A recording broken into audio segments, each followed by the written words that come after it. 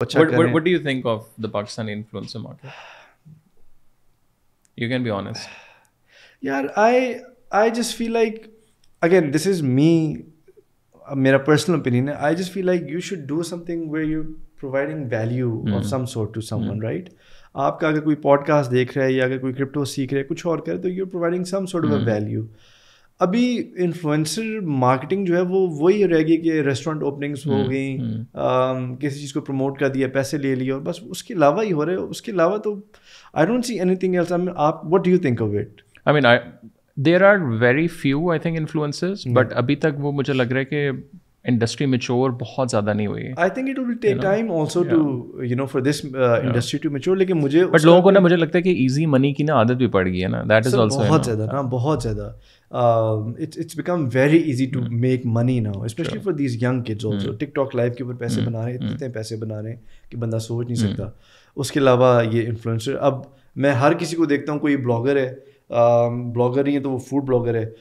Food blogger restaurants के अंदर reviews करें मुफ़्त में रोटियाँ तोड़ें। तो मुझे मुझे थोड़ी समझ नहीं आती। Maybe my father always use to say कि यार जो अगली जनरेशन होती है वो यू you नो know, पिछली जनरेशन से ज़्यादा तेज़ होती है। ये वाली जनरेशन कुछ ज़्यादा ही तेज़ है। कभी कभी दिल करता है ये जो छोटे छोटे अठारह बीस लोग को पकड़े बंदा चपेड़े मारे कि उनको पता चले कि you know what actual hard work is but बहुत ज़्यादा फ़र्क आ गया। बहुत ज़्यादा I am not able to relate to them so I mean I think मुझे और आपको शायद समझते हैं पुराने ज़माने के हाँ बिल्कुल समझते हैं उनको लगता होगा कि बाबे हैं ये इनको Yeah. समझ नहीं आ रही कि आजकल टिकटॉक के डांसेस Yeah, जो those are the new things लेकिन मेरे से I I can never do you. Know those things and then I मुझे एक तो मैं नज़र में बहुत बिलीव करता हूँ.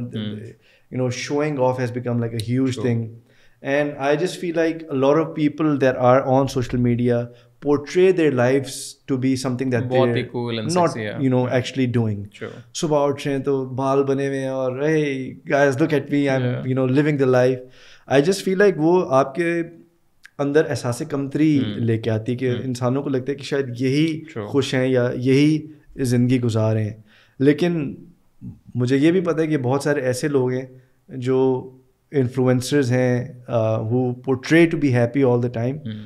but they're severely depressed. They go through terrible anxiety. So True. those things you don't see on social media. So it's all a very flashy, fake sort of a lifestyle, a lifestyle that we've all become accustomed mm. to. Hmm. और मेरे ख्याल में जो बच्चे बड़े हो रहे हैं उनको वही चीज़ क्योंकि नज़र आती है तो they don't know anything else I don't really blame them but I am not personally you know मैं उससे रिलेट नहीं कर सकता Hmm.